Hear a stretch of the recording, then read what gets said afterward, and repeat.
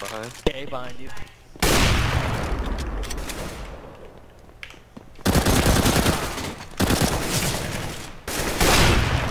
My gosh.